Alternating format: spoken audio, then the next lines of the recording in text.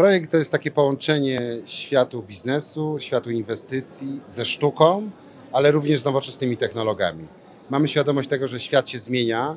My się musimy roz, ra- razem z tym światem również zmieniać. Musimy dać naszym klientom możliwości, nowe rozwiązania, które bazują na nowych technologiach. W tym kierunku idziemy. A świat sztuki dlatego, że lata całe Bank PKO SA był znany z tego, że współpracował z artystami przez wiele lat, ponad 40.